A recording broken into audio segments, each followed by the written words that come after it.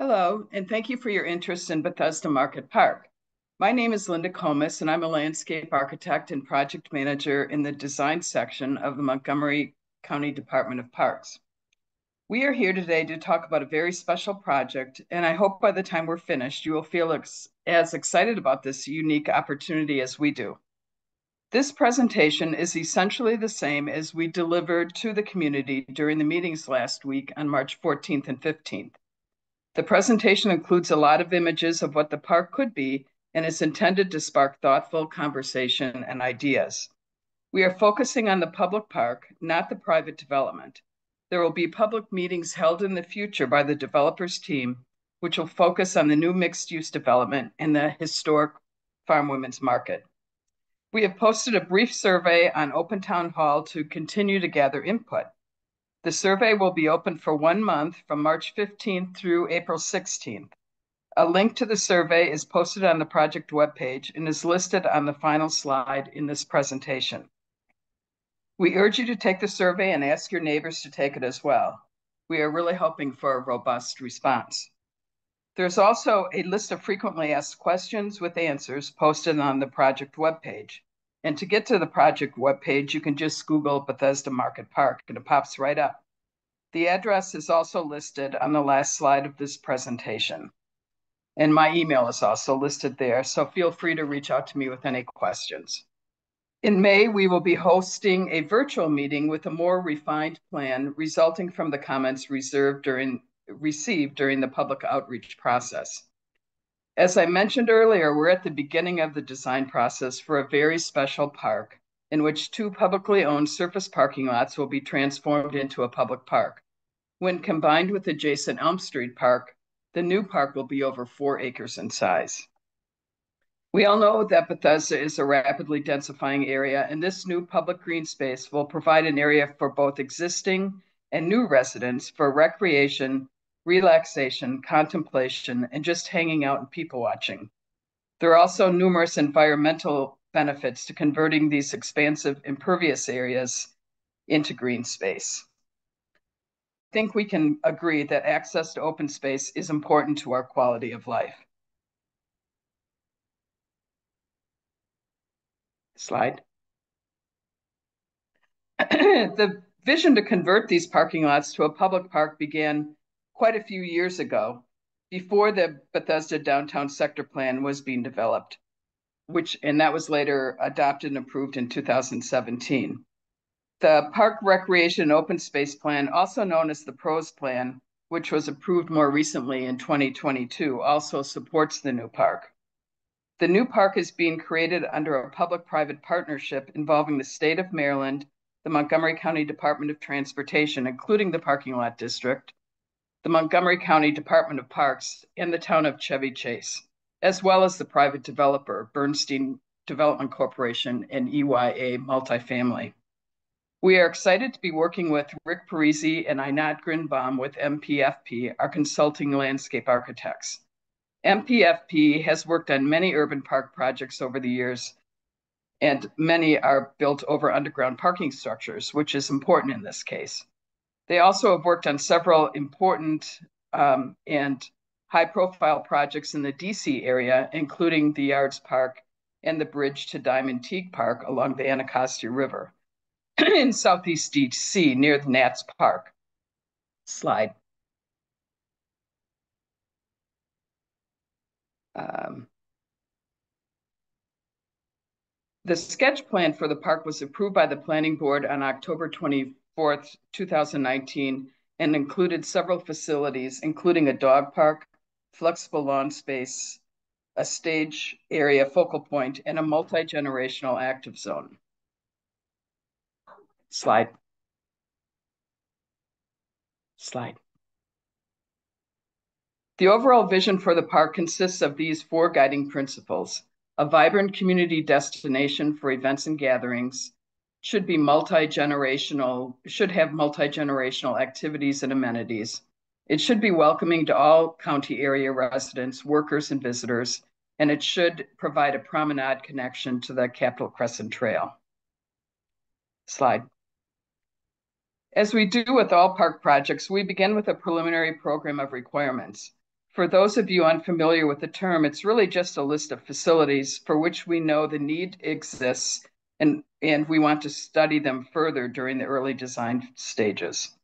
The preliminary program is developed based on planning guidance, in this case, the Bethesda Downtown Sector Plan, the PROS Plan, the Sketch Plan, and other planning documents. We also look at what existing facilities are nearby and the demographic data.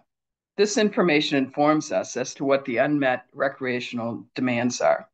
Slide.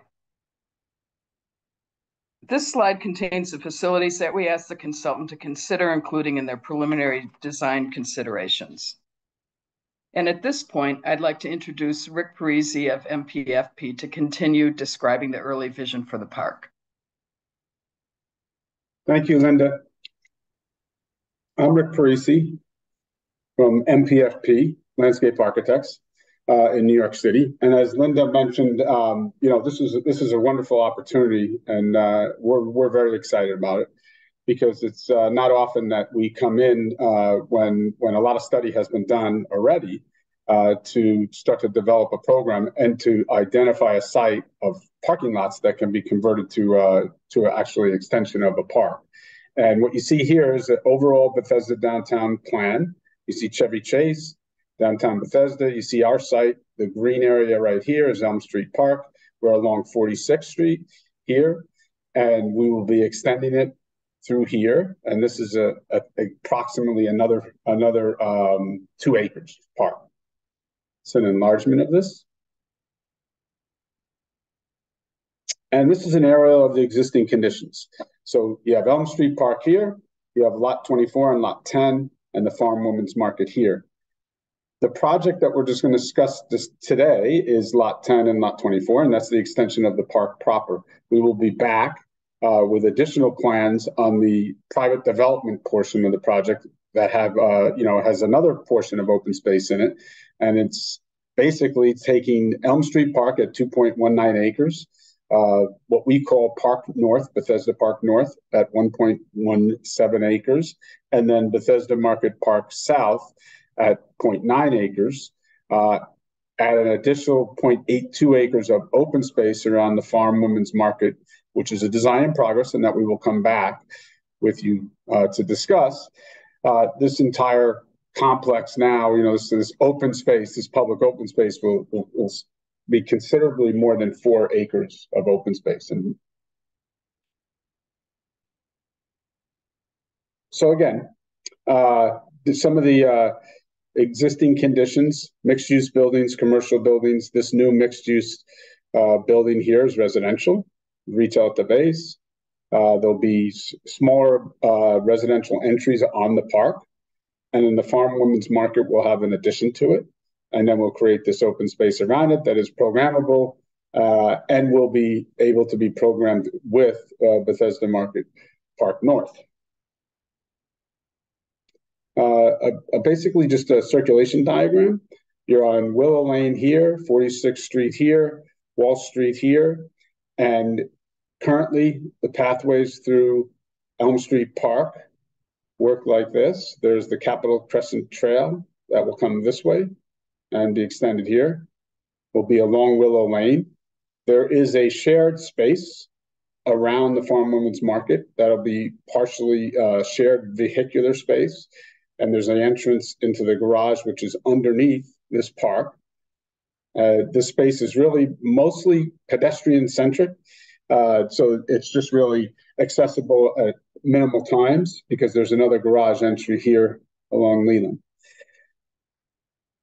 So we as landscape architects, when we when we design a park, we think about what you know human nature uh, is, natural for people to do, you know, and to want to do. Uh, the, the human wants to connect with nature on all levels. You know, whether you sit on lawn, whether you work in a garden, whether you sit under trees, just to be out in nature. And that's that's one of the things we think about when we think about creating social environments for people.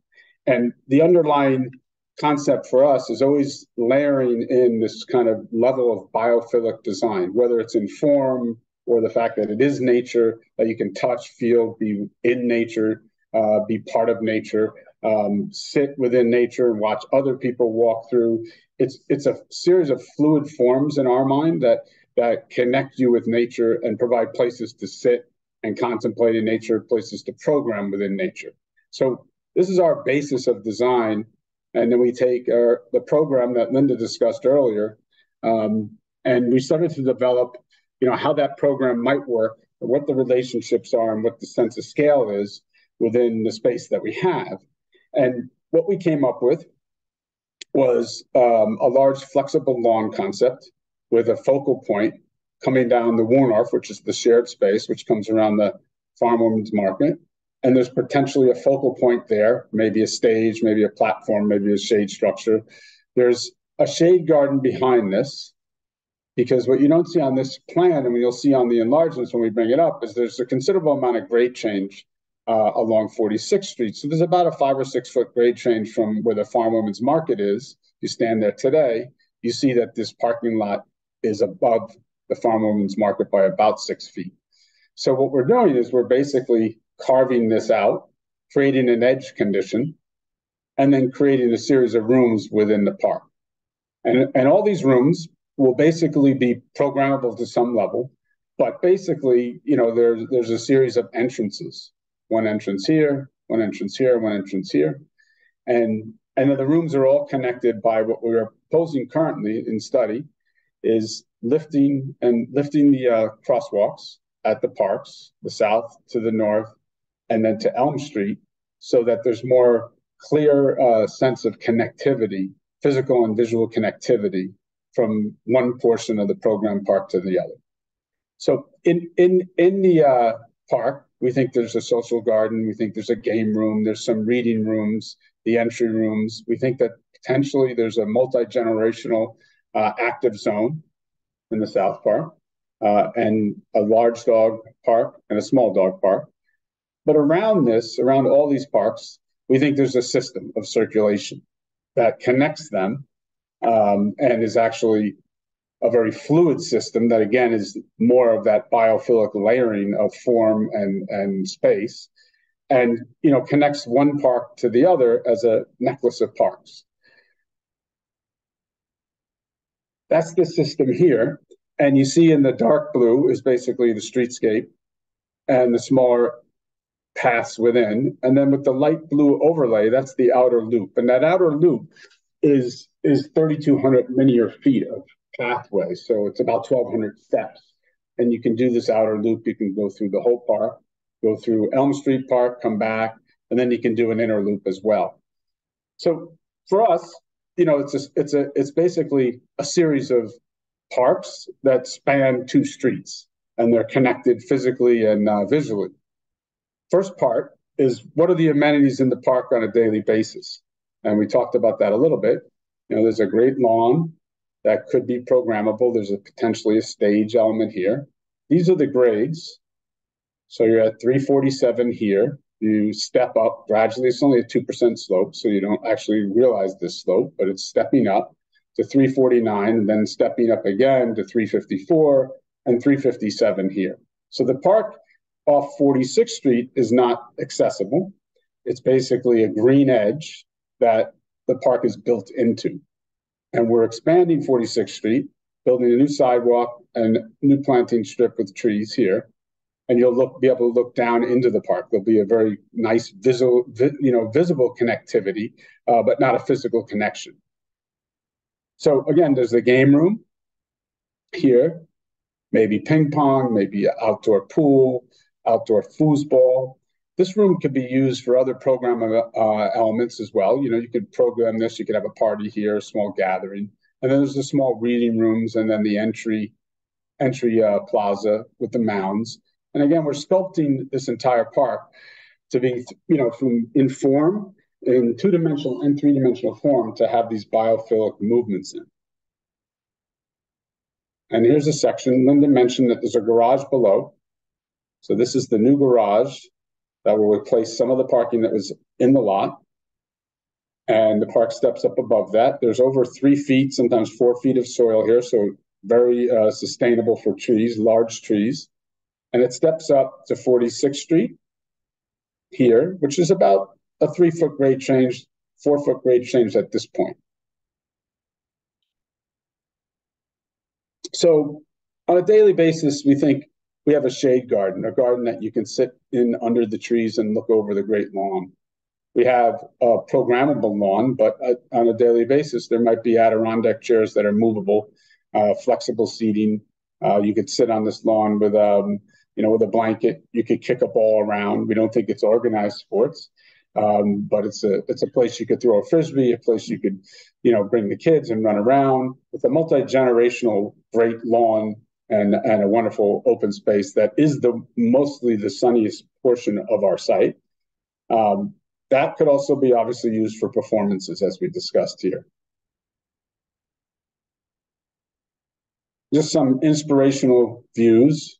Our pathways around the Great Lawn will be shaded with seating, with, with planting on the edge along 46th Street, looking down at the other path below and, and at the lawn and you see frisbee, picnicking, just lounging. There will be some not quite really a formal amphitheater, but there will be you know seating elements built into the berm that can double as an amphitheater or just a passive place to sit. The um, amenities that when we talked about the game room, there's outdoor ping pong, there's outdoor foosball, chess, and other board games, and there's even outdoor um, pool tables that can be purchased and, and used in this space. We see the space as rather flexible and things could be moved around in it and it could be programmed for other things as well.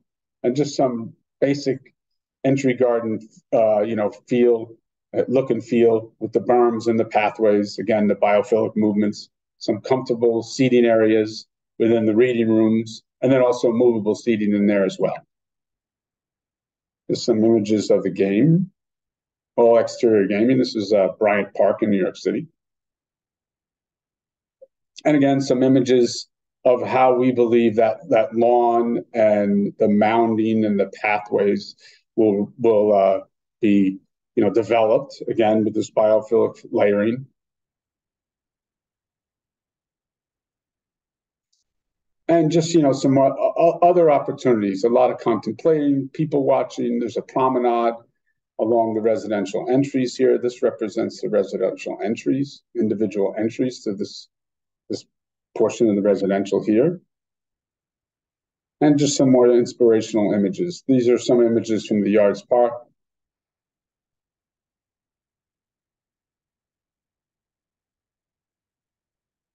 And some planting inspiration.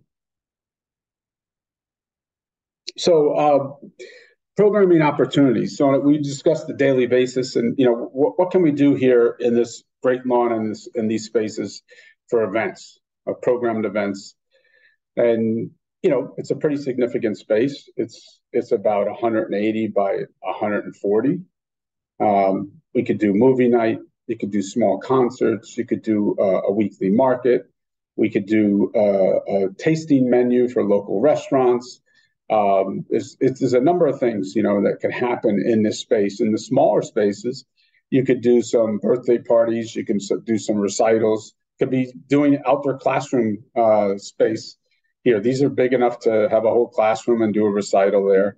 Uh, you know, really, it really provides a lot of opportunity for flexibility in terms of programming.